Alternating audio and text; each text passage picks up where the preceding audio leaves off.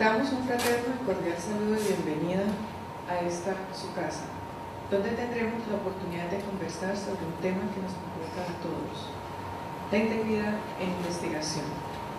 Palabras de bienvenida.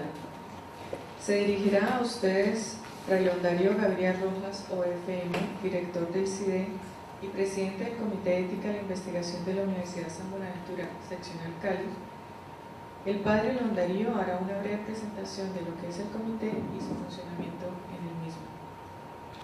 El desarrollo del conocimiento humanístico, científico y tecnológico y de innovación debe ser construido a partir de un etos que fortalezca una cultura del respeto por todas las formas de vida. Debe promover hábitos que propicien una conciliación entre libertad de investigación y el cuidado del medio ambiente así como también de los saberes tradicionales que hacen parte de la cosmovisión de los pueblos, de modo que se garantice el respeto por la diversidad biológica y sociocultural de los mismos. Teniendo en cuenta que avanzar hacia la realización responsable de la investigación requiere tanto de la evaluación científica y ética de los proyectos de investigación como también del reconocimiento y respeto por los derechos de autor.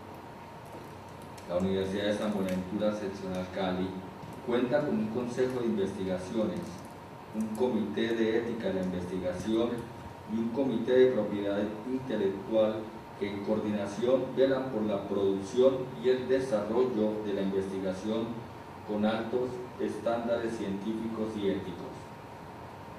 En esta ocasión les voy a hablar del Comité de Ética de la Investigación no solo en mi calidad de como presidente del mismo, sino como franciscano comprometido con la realización de los valores cristianos en la promoción y protección de la vida en todas sus formas. El Comité de Ética de la Investigación de la Universidad es creada por resolución de rectoría A número A 871 del 17 de noviembre de 2010 para que actúe como una instancia de asesoría evaluación y debate en torno a los problemas éticos que surgen alrededor de las actividades de investigación que adelanta la universidad. De vida, la diversidad sociocultural, la biodiversidad, el conocimiento tradicional, los recursos genéticos y la dignidad e integridad de quienes pudieran ser afectados por los resultados de la investigación. Asimismo, debe velar porque los procedimientos y los resultados de la investigación sean veraces, coherentes y consistentes. El comité está conformado por un presidente, un secretario, un observador externo a la universidad, puede ser un representante de una población vulnerable, un representante de proyección social si es necesario, un representante por facultad y un representante de las unidades académicas que realicen investigación. El perfil de los miembros del comité corresponde a la búsqueda de personas capaces de deliberar éticamente y que estén comprometidas con los valores franciscanos y los principios que emanan de la Constitución Política de Colombia. Personas con conocimiento sobre las guías éticas internacionales y las normas nacionales e internacionales que regulan la ética de la investigación. Los miembros que conforman nuestro comité de ética son los siguientes y son representados por las facultades. Hacen parte Claudia Patricia Mendieta, Facultad de Ciencias Económicas, Jorge Antonio Durán Vanegas, Facultad de Ingenierías, Julián Humberto Arias Carmen, Facultad de Educación, Magdalena Murgueillo representante del Consejo de Investigaciones, Lilian María Paz, Facultad de Arquitectura y Diseño, Sandra Realpe, que es la secretaria de la unidad académica y de el secretaria del Comité de Ética de Investigación, Wilner Arbey Riasco Sánchez, Facultad de Psicología, y Liliana Castillo, docente de la Facultad de Derecho. Enseguida voy a dar un contexto filosófico-teológico del marco de referencia ético de la universidad. Uno de los rasgos distintivos de la escuela franciscana en su concepción del ser humano como un ser relacional ve en Francisco de Asís que comprendió que el ser humano es un ser situado, un ser inscrito en un contexto multiforme en el que ocupa un lugar de sentido. De allí que, abro comillas, el pensamiento franciscano sobre el hombre ha escudriñado su valor ontológico, su sentido en el mundo y su relación con nosotros, con la naturaleza y con Dios. Proyecto Educativo Naturiano, página 32. Por ello se entiende que, abro comillas, el saber tiene un sentido práctico, es medio y no fin. La ciencia no es causa de sí misma, sino que está intrínsecamente orientada a la experiencia del amor y de la libertad, del mismo proyecto educativo naturiano. En ese contexto, la universidad fomenta los siguientes valores humanos cristianos y franciscanos aplicables en el ámbito de la investigación. Formación en la admiración y el respeto por todas las formas de vida que contiene la naturaleza. Promoción de acciones que exalten la vida, la relación armónica con la naturaleza y los derechos humanos. Creación de conocimiento orientado a acrecentar nuestra experiencia de libertad desarrollo y calidad de vida, renovación de lazos de fraternidad y justicia social. La actividad investigativa en la Universidad de San Buenaventura Seccional Cali promueve un activo compromiso con la puesta en práctica de estos valores interpretados desde el carisma franciscano, así como la responsabilidad ética, la pertinencia, la pertinencia, la viabilidad, la articulación con la docencia, y la proyección social son los criterios que orientan la investigación en la universidad a través de la producción de conocimiento realizada por las facultades, unidades académicas y programas de investigación. Asimismo, tenemos unos criterios éticos que orientan la investigación en la universidad. A continuación, enunciaré y muy brevemente qué consiste estos criterios éticos. La responsabilidad, actuar con profesionalismo y rigor científico en el proceso investigativo, esto es, concepción, diseño, evaluación, ejecución y divulgación de los resultados de los proyectos de investigación, hacer un uso adecuado de los recursos financieros, físicos y tiempo que la universidad destina para la investigación, la imparcialidad como segundo criterio, ejercer la actividad de impulsor, revisor o evaluador de los proyectos de investigación sin conflictos de interés. Tercer criterio, el respeto. Promover el cuidado por las diferentes formas de vida, reconocer la propiedad intelectual y la información privilegiada sin detrimento de quienes participan en la investigación ni de los que sean depositarios de los resultados de la investigación. Honestidad como cuarto criterio. Desarrollar de manera transparente el proceso investigativo, evitando cualquier situación que pueda ser considerada como una falta a las buenas prácticas investigativas y a la norma constitucional. Y como quinto y último, el compromiso institucional. Dar el debido reconocimiento a los financiadores, promotores y gestores de la investigación cumplir con los objetivos propuestos y entregar los productos acordados, velar por mantener el buen nombre de la universidad en todas las actividades asociadas en el proceso investigativo. Sea pues esta la oportunidad para socializar los principios éticos que deben gobernar las investigaciones financiadas por la universidad y sea esta también el espacio para promover la integridad en la investigación. Muchas gracias. Presentación de los principios y responsabilidades propuestos en la Declaración de Singapur. Se dirigirá a usted la doctora Gloria Palma, presidente del Comité de Ética la Investigación del Centro Internacional de Entrenamiento e Investigaciones Médicas CIDEIM. La doctora Palma hará una breve presentación del Comité de Ética CIDEIM y también nos hablará brevemente de su función en el mismo.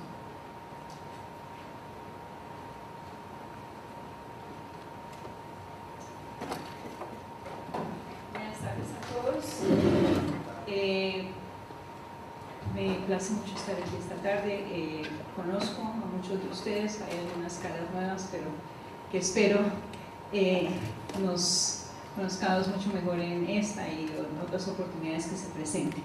Eh, eh, yo tengo varios sombreros, como digo cuando me presento. Uno, que fue el que motivó esta reunión, es el hecho de que actualmente soy la presidenta del Comité de Ética de CIDEIM, que es el Centro Internacional de Entrenamiento e Investigaciones Médicas. Es una corporación de investigaciones empezó dentro de la Universidad del Valle, luego fue programa especial de conciencias, luego fue fundación independiente y ahora es una corporación. Y eh, el comité de ética del CIDEIM existe más o menos desde el año 90, o por lo menos yo estoy asociada con ese comité desde el año 90, cuando regresé después de, terminar, regresé como eh, estudiante durante unos meses al CIDEN. Em, tiene una particularidad y creo que es único, que lo hace único en Colombia y también en, otras partes, y es que todos los miembros del eh, comité somos externos. Yo no pertenezco al CIDEIN. Como pueden ver en el letrero que está eh, puesto allí, quien paga mi salario, donde yo hago todo mi trabajo es en la Universidad del Valle. Eh, los demás miembros del comité, todos excepto miembros votantes, todos excepto uno, pertenecen a diversas instituciones en Cali. Hay varios de la Universidad del Valle, de la Universidad Libre, hay del ICESI, que ahora está vinculada con el CIDEI, pero bueno. Y la secretaria es pagada por eh, CIDEI, pero la secretaria tiene voz y no tiene voto, hace la parte administrativa. Entonces es un, grupo bastante generis.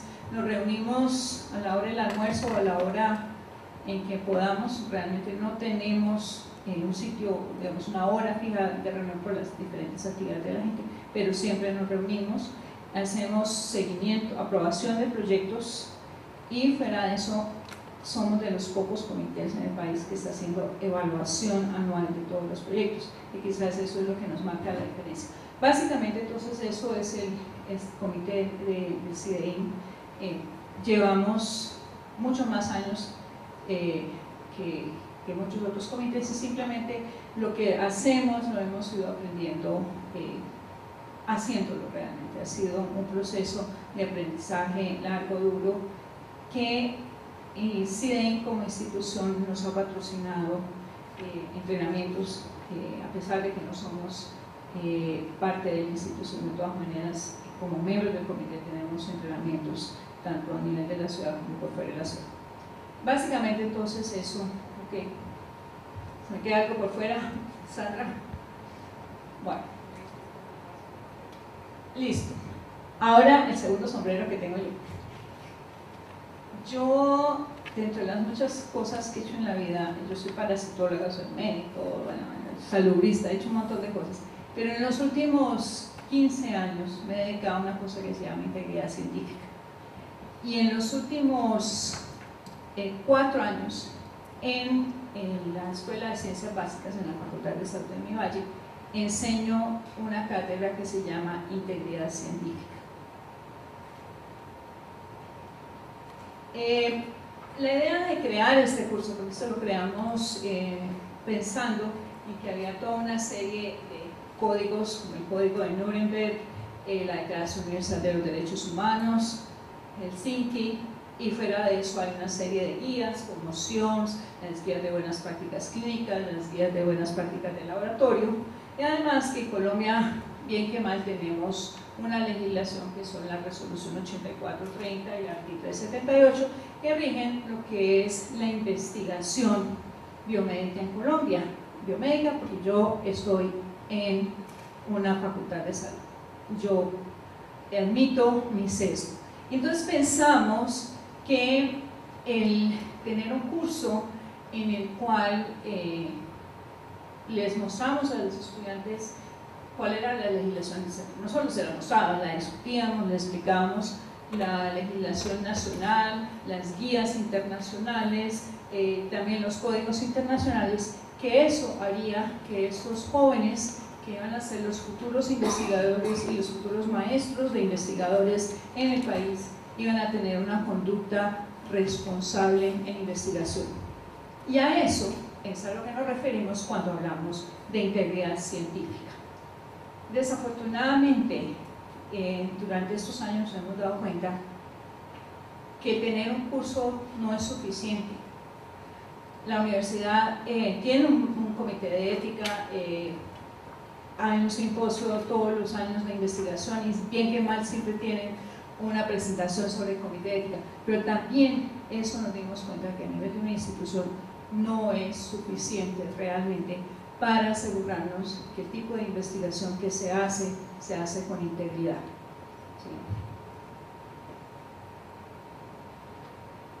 Em, esta es una de mis frases favoritas. Francis Macrina eh, es un microbiólogo que al final de su carrera docente decidió dedicarse a la integridad científica, ha escrito un libro sobre integridad científica que tiene ya varias ediciones, y él dice esto, que cuando trata de definir qué es ciencia, es una forma de interpretar hechos, pero de una forma organizada, y es una búsqueda de la verdad. Entonces realmente, cuando estamos hablando de integridad científica, podría ser una redundancia, estamos hablando de una verdad íntegra, pero eso no sabemos si existe. Realmente, eh, uno pensaría que los científicos, que las personas que están dedicados a las ciencias, ya sea ciencias biomédicas, ciencias sociales, eh, ciencias de la educación, ciencias eh, políticas, están buscando la verdad. Entonces, las personas que buscan la verdad, obviamente, van a comportarse de una forma adecuada, de una forma íntegra. Bueno, desafortunadamente la historia ha mostrado que no es así, por eso es que empezaron a aparecer los códigos. Todos los códigos y guías que tenemos realmente son reactivos a precisamente eh, algunas cosas mal hechas que han hecho las personas que están involucradas en la investigación. Entonces, eh, pensamos, que estamos metidos en esto, que el hacer algunas cosas proactivas podría mejorar la situación. Eh, aparece entonces la, la declaración de, Singapur, que eh, salió en septiembre del año pasado, fue publicada, realmente fue eh, producto de una reunión que hubo, una, la segunda conferencia mundial sobre integridad de investigación que se llevó a cabo en julio en el 2010 en Singapur, pues eso se llama la, eh, Declaración de Singapur, y es una serie de parámetros o eh, guías que ellos proponen que deberían seguir todo investigador. Y estas guías, que es lo más importante, eh, son aplicables a cualquier tipo de investigador, no solo a los que estamos en el área de las ciencias biomédicas, sino también a todas las otras eh, investigaciones que vayan a involucrar seres vivos, que no es solo seres humanos, sino también que puede ser aplicable a animales. Se basa eh, en varios principios, bueno, tiene un preámbulo en el cual hace claro, y esto hace eco a lo que dijo eh, el padre anteriormente, que si uno va a hacer buena investigación para que la, la investigación tenga un valor realmente tiene que partir eh, de que se haga bien, que se haga con integridad y en que aunque hay diferentes formas de hacer investigación, diferentes metodologías y todo eso, lo que es cierto para cualquier tipo de investigación es que hay que hacer las cosas bien. Eso es uno de los principios fundamentales, que tiene que haber integridad. Y hay una serie de principios que deben seguir quienes están metidos en investigación. Estos son el de la honestidad, que está, eh, sería ser honestos, o sea, tener buscar la verdad en todos los campos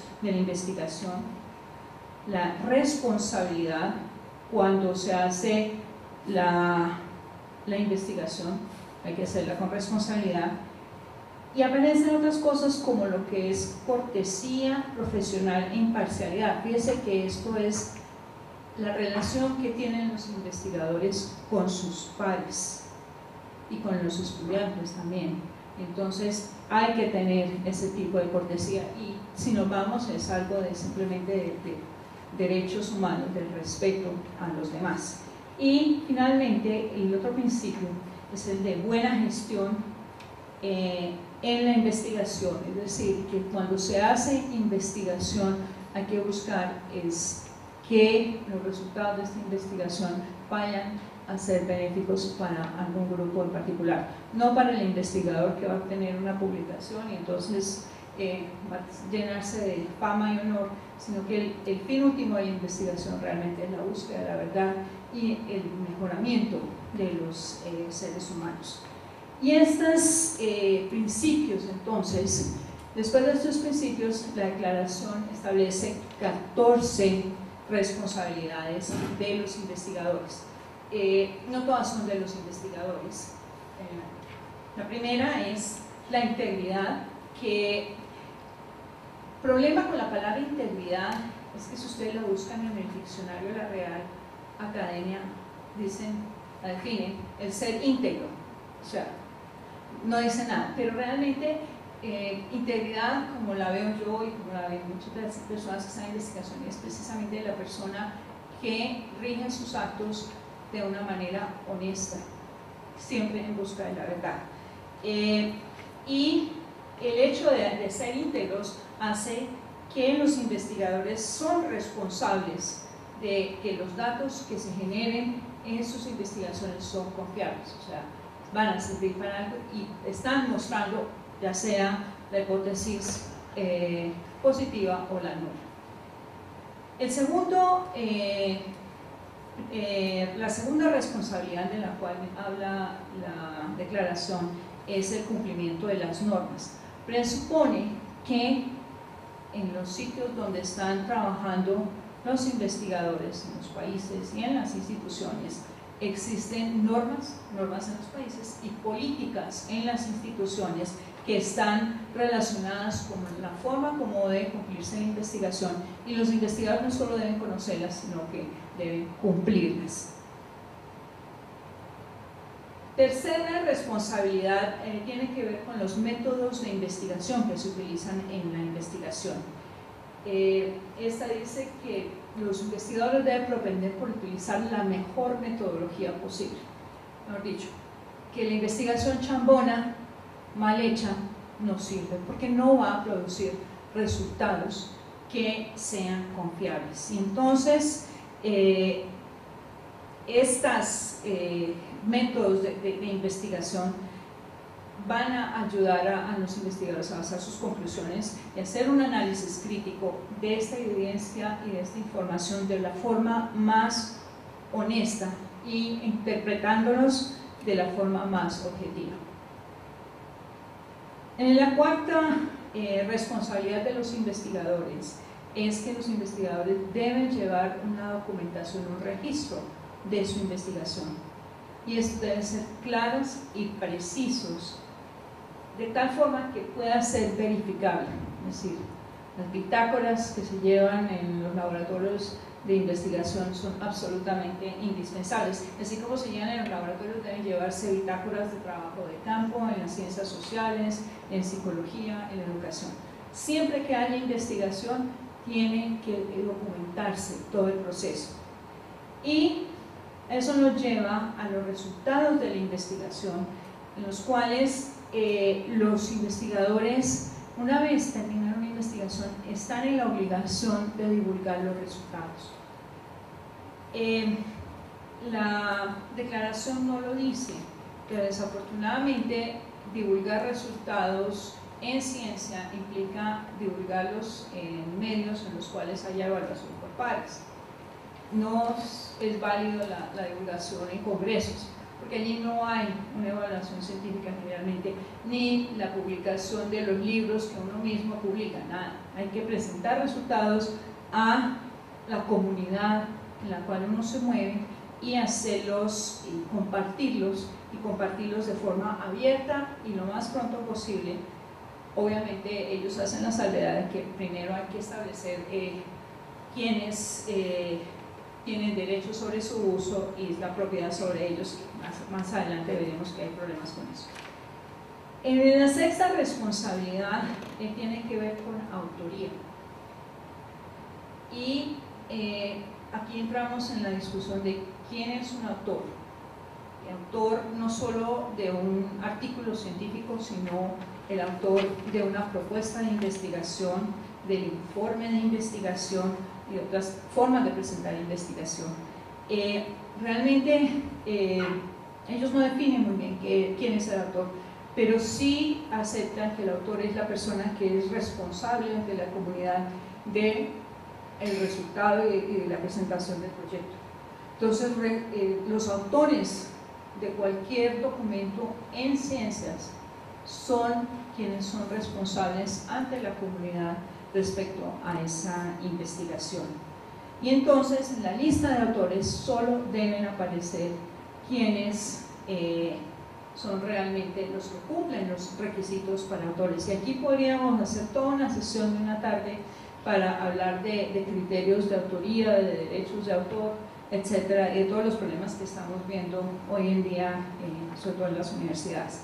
Y eso nos lleva entonces a el reconocimiento de las personas que no son autores. O sea, hay que reconocer que hay toda una serie de personas sin las cuales la, investigación no se pudiera hacer, pero esas personas no cumplen los requisitos para ser autores, entonces hay que reconocerlos, eh, van los patrocinadores, eh, va el jefe del departamento de uno que le dio las horas para que pueda salir a trabajar en ese proyecto, pero si él no participó directamente en el proyecto, no es un autor, es una persona a la cual hay que reconocerle que eh, facilitó la investigación. Pero nada más. La octava eh, responsabilidad habla de la revisión por pares. La investigación eh, se basa en que la validez de la investigación la dan solo los pares. Los proyectos de investigación se aprueban si los pares consideran que la investigación vale la pena hacerlo. Los artículos se publican si la comunidad eh, de pares considera que los resultados de esa investigación no están adecuados, que están discutidos, que la investigación tuvo calidad, entonces merece la pena ser publicada. Entonces, eh, el ser par también es una obligación de los investigadores y entonces el ser par implica que eh, tiene que ser riguroso tiene que dejar a un lado eh, o declarar sus, conflictos de interés, que es el siguiente punto todavía, y ser lo más objetivo posible. Y fuera de eso, hacerlo de una forma lo más rápido posible, porque muchas veces eh, la vida académica o investigativa de, de, los demás investigadores van a depender de esa evaluación O sea que esto es un proceso muy serio sin el cual no se puede hacer investigación. Y eso nos lleva a el tema de conflicto de intereses. Eh, a veces hablamos de conflictos de interés. Realmente el, término adecuado es conflictos de intereses, porque tiene que haber más de un interés para que haya conflicto. Conflictos de intereses existen a todo nivel eh, en la vida. Eso es algo que es inherente al ser humano. Pero la investigación también existen y hay que declararlos. Lo malo no es que existan, lo malo en los conflictos de interés es decir, quedarse callado, no declararlos. Una vez que se declara el conflicto de, los conflictos, el conflicto de intereses, pues se buscan medidas eh, para resolverlo. Entonces, los investigadores deben reconocer, saber reconocer cuáles posibles eh, acciones podrían estar creándole conflictos de interés, eh, conflictos de interés de tipo eh, económico, es lo que muchas veces vemos en la investigación clínica con biofarmacéuticos, pero hay otra serie de conflictos que hay que declararlos. Lo mismo el conflicto de interés hay que declararlo cuando uno está haciendo, viviendo como un par evaluador. Comunicación pública esta eh, responsabilidad, habíamos dicho que los investigadores tienen que dar a conocer eh, sus investigaciones, pero deben eh, limitarse los investigadores a hablar de lo que saben. Es decir, deben ser claros si están hablando como investigadores o si están dando, cuando hacen una declaración pública, si están dando su opinión o su visión personal del problema. Siguiente. Denuncia de prácticas irresponsables en la investigación. Eh, esta responsabilidad es eh, lo que deberían hacer todos los pares, es decir, la presión de los pares debería, sería lo ideal que regiera la investigación. Desafortunadamente no sucede eso, eh, pero los investigadores estarían en la, obligación de eh, informar a las autoridades correspondientes. El problema es saber dónde, quiénes son las autoridades correspondientes de lo que está pasando en la investigación. Y esto incluye fabricación de datos, fabricación es inventarse el dato, la falsificación es decir, alterar un dato, el plagio, que como sabemos es un problema bastante serio. Eh, en la Universidad del Valle con los estudiantes eh, tenemos bastante problema con eso, inclusive entre los profesores. Y con esto de, el acceso fácil a, a Internet, copiar y pegar, hace las cosas muy fáciles y entonces termina uno tomando las ideas de otra persona sin darles el crédito adecuado.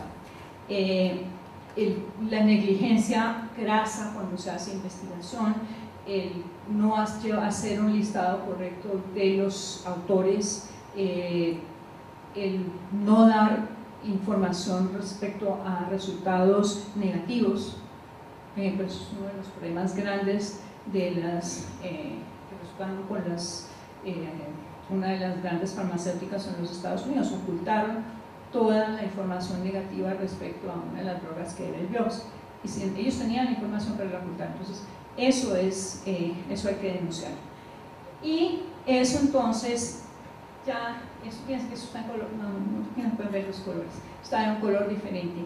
Las siguientes dos eh, responsabilidades realmente no son competencia del investigador en sí, sino de la institución a la cual pertenece el investigador. Uno, eh, una de estas, la número dos, es que la institución debe darle una respuesta a las prácticas responsables.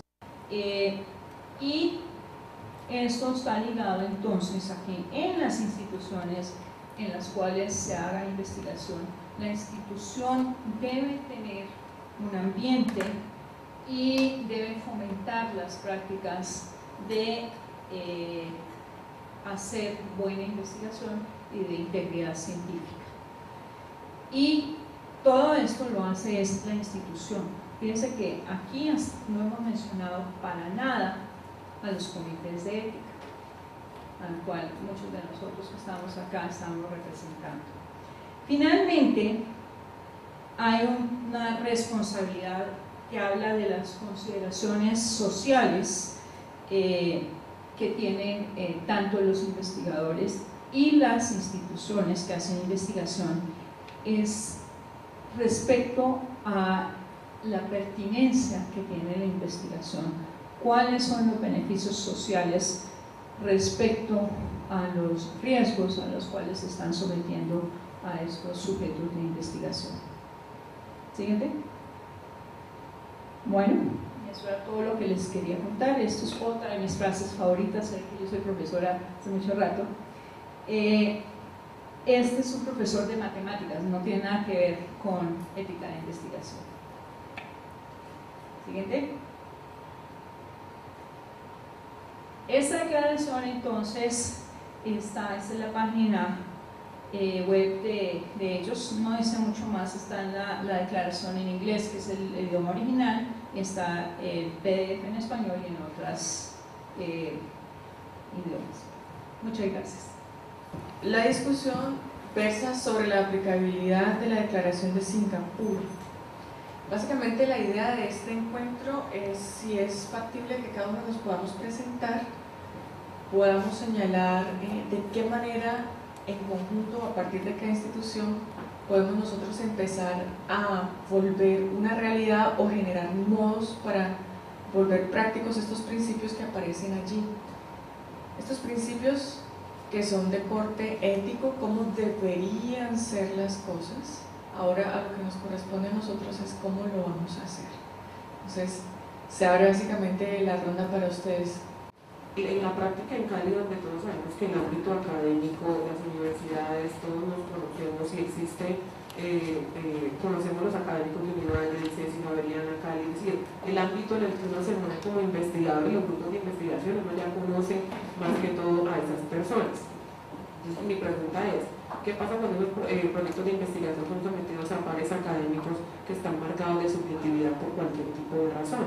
Entonces emiten conceptos desde la subjetividad, luego usted mismo hablaba de la gran responsabilidad de que tiene un par académico, le metió un concepto de no aprobado, eh, o no estoy de acuerdo porque me parece que, que, el artículo no es relevante porque está fuera de ese, ese par académico, por ejemplo, de publicar uno parecido. Entonces, y luego se retrae de eso. Eh, ya no hay tiempo para, para, para, para subsanar ese error y, me queda ese, ese sensador de hasta dónde el grado de aplicabilidad en, en, en, ciudades que eh, frente a esto serían pequeñas.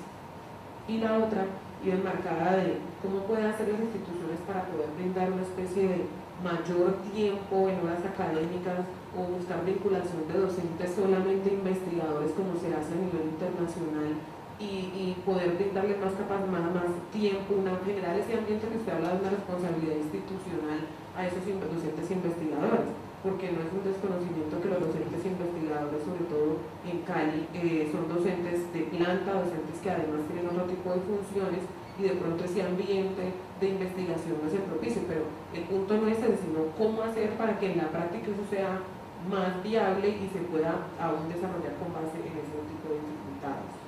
Realmente no hay una respuesta exacta para eso, porque cada institución va a tener que hacer el problema que tenemos acá es que precisamente nosotros vivimos en una sociedad en la cual no nos han enseñado, por lo menos en la universidad, no nos han enseñado a ser críticos y a decir las cosas, a decir la verdad. Sino que la gente, ah, no, es que es, mi compañero, no, digámosle las cosas más suavecitas, ¿no? En ciencia hay que ser críticos y hay que ser honestos. Si logramos meter estos principios y que todo el mundo los introyecte, pues yo creo que la situación puede mejorar. En este momento inmediatamente eso sigue siendo un problema, los pares no son realmente pares, no son eh, eh, gente que pueda ser muy objetiva, pero eso es problema de que no les han enseñado que ellos tienen que ser objetivos. La gente no es capaz de diferenciar que una cosa es Octavio mi amigo o aquí doctor Rosso, mi amigo, que lo conozco toda la vida, y otra cosa es el investigador que está en la Fundación de Benjamin Entonces, si estás metiendo las patas en la investigación, estás haciendo las cosas mal, yo tengo la obligación de decirse. Así sea mi amigo. Es más, y yo creo que uno como persona prefiere que los amigos le digan a uno que está haciendo las cosas mal. Pero eso es, un problema, yo creo que de cultura. Y eso es lo que estamos tratando de impulsar de que ese tipo de cultura se cambie en las instituciones. La primera pregunta que le di a la profesora Palma sería, esta tiene, digamos, como declaración, así como de ley, de cumplimiento obligatorio, ya el Estado colombiano lo cumplió, porque si no, fíjate ustedes, se nos quedaría así muy interesante, pero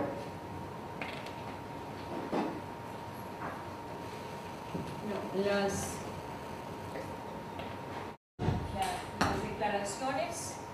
y los códigos internacionales no son de obligatorio cumplimiento.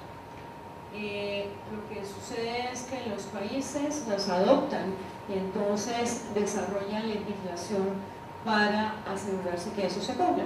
La 8430, se recordarán en la introducción, habla de que se está enviando por el código de Nuremberg y por Helsinki, en su versión en esa época del año 88 creo que Entonces, eh, no, esto no amarra. Y ellos, ellos lo dicen claramente en su página web, miren, esto es una guía y estamos promulgando de que los países lo adopten y que se vea cómo se puede incorporar a la legislación. Hay una cosa, uno como institución, si no existe la ley en el país, pero usted sí puede establecer un código de ética, un reglamento de comportamiento para la gente que está. Podemos empezar porque las instituciones decidan adoptarlo. Creo que es un gran paso adelante. No necesitaríamos que haya la ley que nos obligue a hacerlo, sino que las instituciones voluntariamente lo adopten. De hecho, la palabra, la palabra declaración no es una traducción correcta porque si lo vemos es Singapore Statement. Statement realmente la traducción sería como un llamado, como un enunciado de Singapur. Enunciado. El enunciado que aparece en Singapur. Solamente que en español se ha hecho la traducción como declaración, pero no tiene el rigor legal como para que los países se adhieran a él. Sin embargo, es una iniciativa global, tanto investigadores como las personas que financian investigación de instituciones privadas y públicas que se han reunido por segunda vez en Singapur. La primera vez creo que fue en un país de habla portugués y esta vez fue en Singapur. Se está organizando una tercera reunión. En la primera reunión del Congreso Internacional sobre Integridad, eh, sobre integridad de investigación, hicieron un primer borrador. En el segundo encuentro, que fue el año pasado, ya sacaron esta declaración y lo ponen como una declaración global que recoge miradas de muchas partes del mundo para ponerse de acuerdo en cuáles son los criterios éticos mínimos que las personas, los investigadores deberían tener en cuenta para, o bien, en dos perspectivas, como investigador o como institución. Entonces la declaración tiene dos públicos, básicamente. Uno, los que hacen investigación y dos, los que gestionan la investigación a nivel institucional. Entonces tiene esos dos parámetros. Por eso en el statement o la versión original en inglés, ustedes encuentran que los 14 responsabilidades está escrito en should, deberían, mientras que las cuatro primeros principios son imperativos. Esos imperativos son los imperativos de los cuales se desprenden las responsabilidades. Entonces, para decirle que no no, no estamos obligados legalmente, pero sí moralmente a tomar en cuenta esos principios, que ya hay una reunión con muchas personas que han hablado sobre el tema y que nosotros, parte de una tarea que tenemos, no solamente como investigadores, sino a nivel institucional, es qué podemos adaptar y cómo podemos hacerlo. Y es parte de nuestro conversatorio. Eh, frente a la presentación que usted hacía, al final en la parte de arte decía un poco como denunciar, poner en evidencia cuando el tema ético no fue tenido en cuenta o cuando en un momento eh, los procedimientos no fueron tan rigurosos en esta parte. En términos prácticos y en términos de ya la experiencia que ustedes tienen, ¿cuáles son los tipos, digamos, de acciones o el tipo de, seguimientos que serían hechos a investigadores cuando se detecta por lo mínimo plagio sin llegar incluso a, procedimientos éticos que han vulnerado el tema de, la vida o el tema de la integridad. Bueno, aquí tengo yo sobre el CIDEIN, hasta el momento no hemos tenido ese problema. En la universidad, es una universidad pública, y los empleados públicos, si cometen plagio, lo destituyen. Primero obviamente les hacen una investigación. Hasta ahora en la universidad no ha pasado nada, en muchos sí ha habido casos de plagio, han ido, ha habido investigaciones, pero no sé los resultados de eso. La experiencia que yo tengo con plagio en investigación, eh, cuando estábamos en conciencias, cuando estaba en conciencias, eh, hubo un caso de plagio, alguien copió el, proyecto de otra, persona y después logramos probar que, era una copia exacta. Eh, eso fue Procuraduría, Contraloría, y pues ya llevamos cuatro años en esos, cuando yo me salí entonces todavía el proceso no había eh, terminado. El problema es que si eso, el plan en Colombia eh, tiene connotaciones legales, el código eh, de policía habla de plan, entonces usted plaga, por ejemplo, una obra, un libro un disco, lo que sea, eso tiene consecuencias. Entonces, el plagio se puede ver en Colombia a diferentes niveles. Hay, una, hay acciones civiles que se pueden encargar contra eso. en investigación no tenemos claro, y eso es uno de los problemas grandes respecto a qué pasa con el plagio eh, de artículos, de tesis, de proyectos de investigación. Eso no hay claridad. Y eso supuestamente es la institución la que tiene que eh, darle eh, el correctivo al caso. O sea, la institución debería tener, contemplar qué pasa si alguna de las personas que pagan su solución se le comprueba que era plagio. Más que una pregunta es un comentario. Revisando las responsabilidades me llama la atención cada uno de ellos y digo, realmente no nos concierne al comité de ética, porque nuestra función es evaluar los proyectos desde el punto de vista ético, que corresponde a investigaciones, le corresponde a la instancia de la universidad que regula todo lo que tiene que ver con la investigación.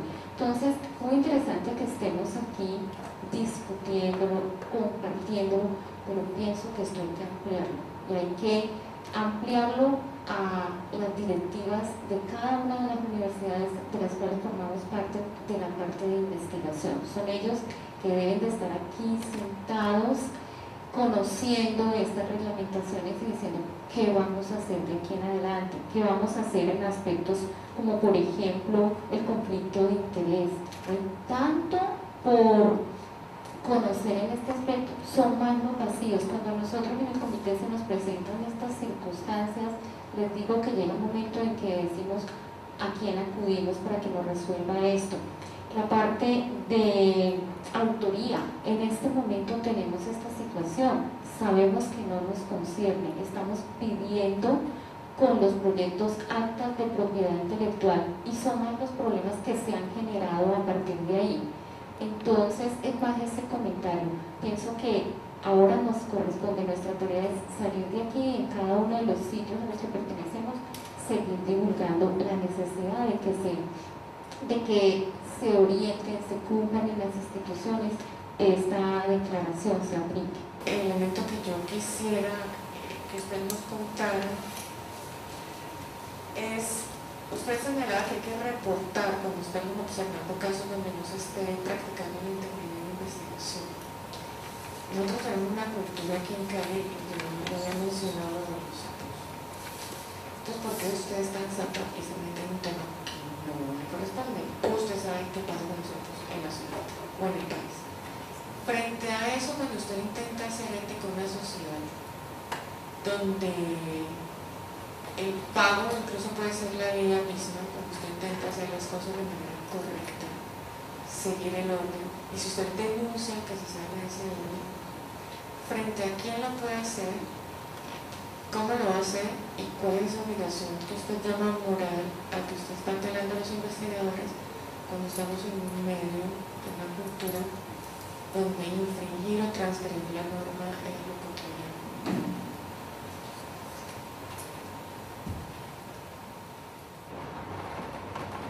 Lo de obligación de ser par es que eh, uno es par cuando uno conoce el tema. Si uno lo meten de par a evaluar una cosa de la cual uno sabe, uno no es par. Entonces, la obligación de uno como investigador, si usted sabe de eso, usted debería estar eh, en capacidad de compartir sus conocimientos siendo par de los demás que están trabajando en su misma área. Uno de los problemas que tenemos aquí en Colombia es que eh, no tenemos masa crítica en ninguno de los campos de investigación. Y ese es un problema. Y entonces termina uno consiguiendo el que más se le aproxime, porque es que todos los demás están participando en la, en convocatoria. Entonces ahí realmente no hay evaluación por pares. Entonces, en ese sentido era lo que yo hablaba de la obligación de uno como investigador de ser parte. Lo otro de la cultura de los sapos, sí, yo tengo eso muy claro, eh, eso que estoy diciendo en contravía de lo que enseñan de chiquito, inclusive usted para qué dijo, porque, porque digamos, a uno lo acostumbran a que eso no se debe hacer, todo el mundo se queda callado. Eh, muchas de las cosas que se han salido de investigación eh, antes de que se murieran pacientes. Cuando se han muerto pacientes, obviamente se entera todo el mundo de que algo fue, eh, hicieron mal en, esa investigación. Pero en muchos otros proyectos de investigación en los Estados Unidos y en Europa, las cosas las han podido parar a tiempo de que hubieran muertos, porque alguien del grupo de investigación, un auxiliar, o alguien del laboratorio fue y dijo, mire, eso no lo están haciendo bien, no están siguiendo el, protocolo como estaba establecido, están reclutando personas que no cumplen los criterios mínimos de, inclusión. Entonces, eso hizo que se hicieran investigaciones y se pudo parar la investigación. ¿Qué necesita uno? Es que uno puede ser sapo la, información no, se la puede, no la puede divulgar a cualquiera. Tiene que existir a nivel de la institución un mecanismo de protección para las personas que se entreguen a denunciar. Y la institución tiene, que, tiene el deber de protegerlos. Si eso no existe en la institución, nadie entonces va a arriesgarse a eh, denunciar que se están cometiendo atropellos. La institución tiene que tener eh, políticas claras respecto a cómo proceder en ese caso. El caso específico, los que nos dedicamos a trabajar en las ciencias sociales o económicas y que manejamos muchos datos, bases de datos, nos encontramos con el problema de la legalidad de la información. Y acá se espera que uno de esos principios que se cumplan sean de la responsabilidad con integridad pues, de, la, investigación que sea confiable, con datos confiables. Y a veces eh, pues me preocupa ahora pensar de que en el entorno en que nos movemos nosotros aquí en este país, donde la calidad científica de investigaciones pues no, no está tan a la altura de muchos otros países, ¿Cómo lograr esta, esta confiabilidad en la investigación si tenemos un entorno político y social que nos, no nos brinda la información veraz. El asunto es, eh, yo creo que eso no lo vamos a cambiar de un día para otro, pero hay que empezar, creo que hay que empezar a través de, la labor educativa, tratar de, creer que las siguientes generaciones van a ser capaces de, cambiar el asunto. Eh, no tengo una respuesta realmente de, cómo hacer ese, esa cuestión. Yo pienso que uno de los grandes errores que hemos tenido en la formación de, investigadores ha sido que, que, realmente no se han capacitado de una forma integral, o sea, con el rigor, metodológico que debe tener. Y el rigor metodológico incluye aspectos éticos, pero nosotros por, algún, alguna razón pues dividimos una cosa de la otra y, eso no se puede dividir, eso es una cosa eh, es como, la atención médica. Este tipo no puede ser el excelente neurocirujano sin la mano al paciente. Hay una carrera por recursos y probablemente la carrera de los recursos se lo los, los, los grupos que estén haciendo eh, su mejor esfuerzo en, en, la integralidad, en esa visión tanto metodológica como el comportamiento, con los patrones éticos de lo que se haga en investigación. Y eso es cuando la sociedad tiene que empezar a, pararse y decir, hombre, nosotros como sociedad tenemos que hacer el respaldo en estas y en estas situaciones. En la, en, la cultura del sapo, que yo la denomino más el complejo, una cosa es la cultura y otra es el complejo. Yo pienso que nosotros sufrimos es de complejo el sapo. O sea, no, no, nos vemos, me, siento mal si yo denuncio. es el complejo, somos una sociedad complejada y por ser acomplejada somos cómplices. Mi pregunta va dirigida eh, sobre cuál sería el papel de la institución o de las instituciones que va desde el currículo hasta el papel mismo del profesor para fomentar la ética en los futuros jóvenes y en los, en los presentes jóvenes que serán el futuro de, esta sociedad. Eh, y por otro lado, eh, teniendo en cuenta de que hoy en día el joven se sitúa en una inmediatez para el desarrollo de, las diferentes eh, actividades pedagógicas que se presentan en las instituciones. Entonces, ¿cómo fomentar ahí esa parte ética? Ahora hacía referencia la profesora respecto a Google, que cómo eh, podemos acceder rápidamente a una información donde el estudiante copia, pega, imprime y se lo pasa al profesor. Esa autoría ahí como se pierde, se desvanece. Y el estudiante en muchas ocasiones, porque lo comparto desde mi experiencia en pregrado, eh, es ignorante de cierta forma en todos estos aspectos de ética y responsabilidad estudiantil. Segundo, y cómo potenciar también en ellos su creatividad tecnológica para divulgación de resultados. Me refiero a que ahora los, los muchachos inclusive utilizan el video como forma también de eh, divulgar resultados de las investigaciones. Estos videos al final uno observa que van, van todos los que participaron en el video y reservan los derechos de autor, por decirlo así, tipo formato de de. El papel de la institución es ese, la institución tiene que buscar la forma de establecer que eh, esos, ese comportamiento es lo que va a tolerar la, institución, que comportamientos que se alejen de esa no son tolerados y tiene que establecer, los únicos que pueden establecer sanciones y que pueda hacer vigilancia en la institución. No pueden ser ni los profesores, ni los de ética, nada, eso es la institución la que establece un reglamento y el que se sale de ese reglamento pues que se vaya a estudiar otra parte, por ejemplo. En las universidades privadas es más fácil que en las públicas, pero uno puede hacerlo y si uno establece unos reglamentos claros, que uno de los problemas a los cuales yo me he visto abocado es, uno le dice ¿sabes qué? Eso no se hace.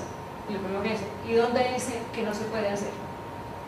Esa es la, respuesta, por lo menos, a la cual me veo abocado en la universidad. ¿Y dónde dice que yo no puedo publicar eso? Bueno, entonces, si la institución tiene reglamentos claros y establece las sanciones, porque solo la institución puede establecer las sanciones, entonces ya estamos eh, a un paso. El asunto es, a mí estas cuestiones cognitivas no me gustan creo que es mucho mejor el, crear la atmósfera de educación y que desde, que entran los estudiantes a pregrado se les comience a hablar de integridad científica. Desafortunadamente en mi universidad vienen a saber de integridad científica ya cuando son estudiantes de posgrado y en solo dos posgrados.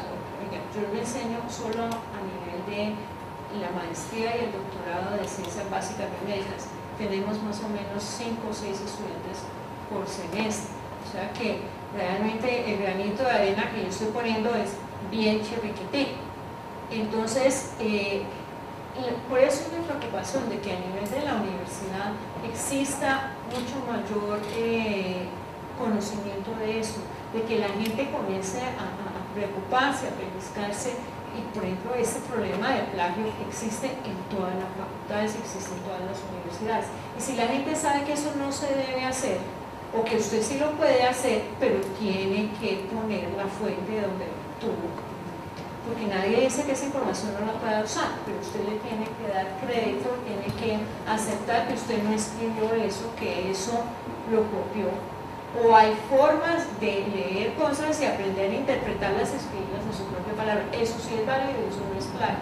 Pero a los estudiantes no se les enseña eso. Entonces, si eso desde el principio se comienza, el problema es que ya cuando llegan a la universidad ya llegan con muchos resabios. El asunto tiene que empezar desde el bachillerato. Gracias. Eh, nos dedicamos entonces en estos últimos minutos a escuchar las conclusiones generales. Voy a hacer referencia a, dos puntos. El primero es con respecto a las responsabilidades eh, de la Declaración de Singapur.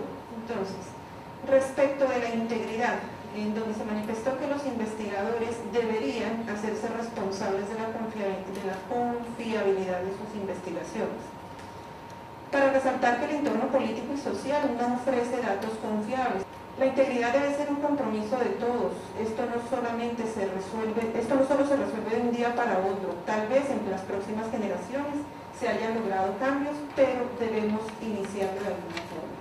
En el área clínica ha habido grandes esfuerzos en cuanto a derechos de los mal llamados pacientes. Eh, para resaltar en este punto, en los investigadores ha faltado formación en, en el rigor ético, no ha habido una formación integral. La educación en investigación es fundamental. De igual forma, la sociedad debe asumir un compromiso para exigir sus derechos. Nosotros estamos llamados a ser parte de esa sociedad y a respaldar las situaciones éticas que deben regir toda investigación. No podemos limitarnos a hablar de los problemas, sino que debemos empezar educando a las generaciones venideras. El último comentario eh, respecto, no solamente debería ser a niveles superiores, a nivel de especialización en maestría y doctorado, sino que este tema debe ser parte de una formación integral y debemos impulsar este tipo de educación desde eh, las edades mm, más pequeñas. Respecto del cumplimiento de las normas. Los investigadores deberían tener conocimiento de las normas y políticas relacionadas con la investigación y hacerlas cumplir. Es importante aclarar que una declaración no es de obligatorio cumplimiento. Cada país adopta las normatividades que consideren pertinente de acuerdo a lo que eh, cada, eh, cada, declaración, cada unión de personas eh, ponga en conocimiento de la sociedad. Si el país no adopta una normatividad, si ello no es así, cada institución debería adoptar una política de integridad científica. Seguir una declaración no es una obligación legal, pero sí debería ser una obligación moral. Y el último punto que me gustaría resaltar es el de revisión por pares. Respecto de la pregunta, ¿podrán los pares académicos en algún momento tener objetividad. Es importante eh, aprender a ser críticos y honestos. La honestidad está conectada con la formación, con la cultura, pero más allá de eso es un complejo que muchas personas tenemos y ese complejo nos hace cómplices de la falta de ética en la sociedad. Les agradecemos muchísimo su participación. Doctora Pablo, muchísimas gracias por su presentación. Esperamos que eh, podamos empezar lazos fraternos de diálogo tanto con la Universidad del Valle, con la Fundación eh, Valle Lili, con el CIDI, con ICESI, ¿qué otra universidad aquí? Podemos incluso extender la invitación a otras universidades que también tienen comités de éticas o centro de investigación. Un poco depende esta tarea nuestra para crear esa red o esos vínculos entre los comités. Muchísimas gracias por su participación. Agradecerles a cada uno de ustedes por su presencia, por sus aportes y pues la, la universidad con las puertas abiertas lo recibe nuevamente y ojalá que estos encuentros se sigan dando. El perfil de los miembros del comité corresponde a la búsqueda de personas capaces de deliberar éticamente y que estén comprometidas con los valores franciscanos y los principios que emanan de la Constitución Política de Colombia. Personas con conocimiento sobre las guías éticas internacionales y las normas nacionales e internacionales que regulan la ética de la investigación los miembros que conforman nuestro comité de ética son los siguientes y son representados por las facultades. Hacen parte Claudia Patricia Mendieta, Facultad de Ciencias Económicas, Jorge Antonio Durán Vanegas, Facultad de Ingenierías, Julián Humberto Arias Carmen, Facultad de Educación, Magdalena Burgueillo, representante del Consejo de Investigaciones, Lilian María Paz, Facultad de Arquitectura y Diseño, Sandra Realpe, que es la secretaria de la unidad académica y de el secretaria del Comité de Ética de Investigación, Wilner Arbey Riasco Sánchez, Facultad de Psicología, y Liliana Castillo, docente de la Facultad de Derecho. Enseguida voy a dar un contexto filosófico-teológico del marco de referencia ético de la universidad.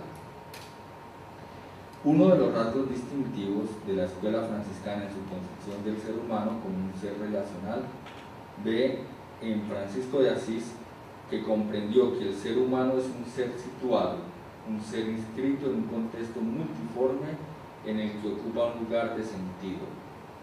De allí que, abro comillas, el pensamiento franciscano sobre el hombre ha escudriñado su valor ontológico.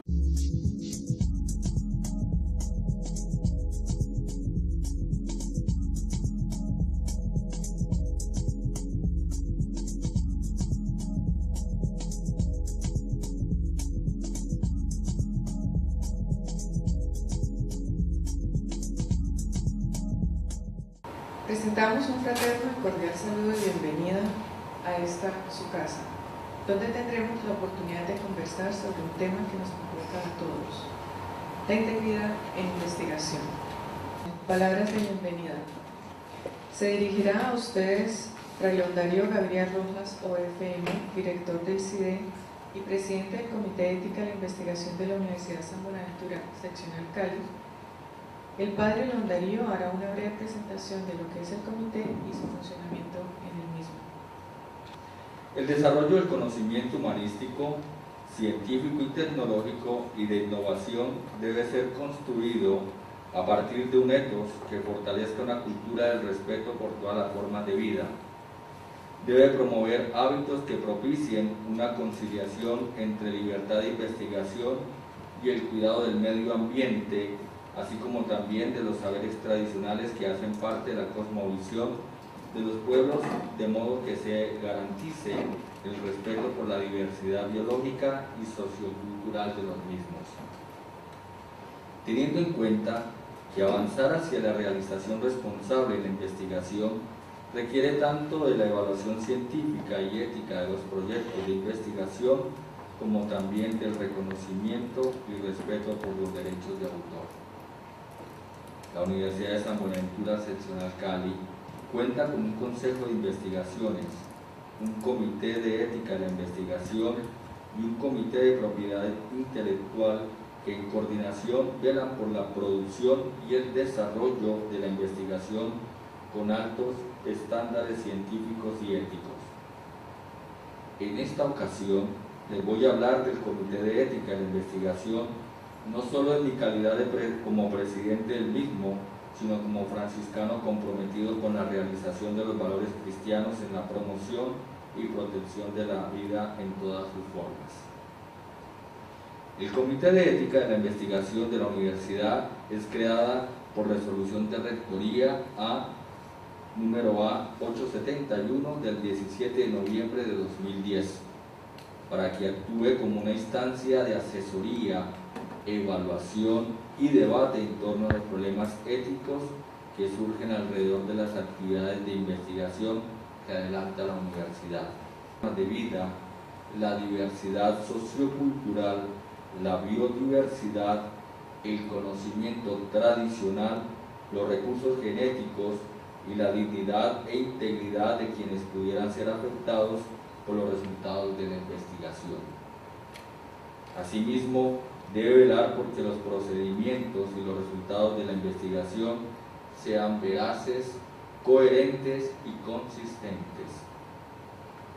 El comité está conformado por un presidente, un secretario, un observador externo a la universidad, puede ser un representante de una población vulnerable, un representante de proyección social si es necesario, un representante por facultad y un representante de las unidades académicas que realicen investigación. ¿Qué consiste estos criterios éticos? La responsabilidad. Actuar con profesionalismo y rigor científico en el proceso investigativo. Esto es concepción, diseño, evaluación, ejecución y divulgación de los resultados de los proyectos de investigación. Hacer un uso adecuado de los recursos financieros, físicos y tiempo la universidad destina para la investigación. La imparcialidad como segundo criterio.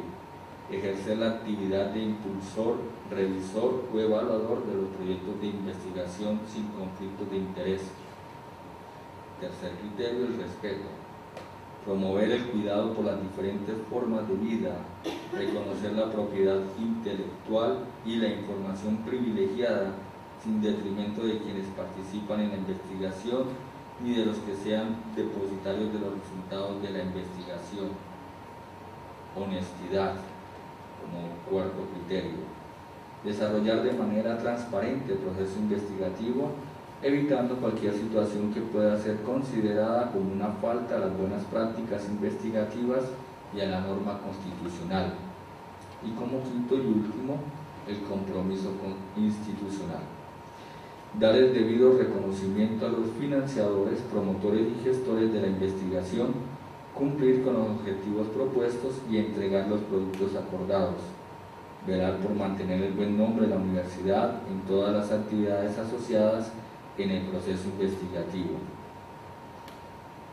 Sea pues esta la oportunidad para socializar los principios éticos que deben gobernar las investigaciones financiadas por la universidad y sea esta también el espacio para promover la integridad, su sentido en el mundo y su relación con nosotros, con la naturaleza y con Dios. Proyecto Educativo Naturiano, página 32. Por ello se entiende que, abro comillas, el saber tiene un sentido práctico, es medio y no fin.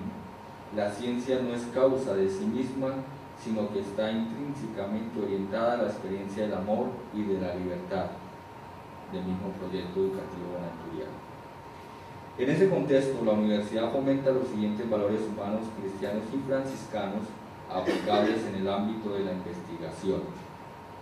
Formación en la admiración y el respeto por todas las formas de vida que contiene la naturaleza. Promoción de acciones que exalten la vida, la relación armónica con la naturaleza y los derechos humanos, creación de conocimiento orientado a acrecentar nuestra experiencia de libertad, desarrollo y calidad de vida, renovación de lazos de fraternidad y justicia social. La actividad investigativa en la Universidad de San Buenaventura Seccional Cali promueve un activo compromiso con la puesta en práctica de estos valores interpretados desde el carisma franciscano, así como la responsabilidad ética, la pertinencia, la pertinencia, la viabilidad, la articulación con la docencia y la proyección social son los criterios que orientan la investigación en la universidad a través de la producción de conocimiento realizada por las facultades, unidades académicas y programas de investigación. Asimismo, tenemos unos criterios éticos que orientan la investigación en la universidad. A continuación, enunciaré y muy brevemente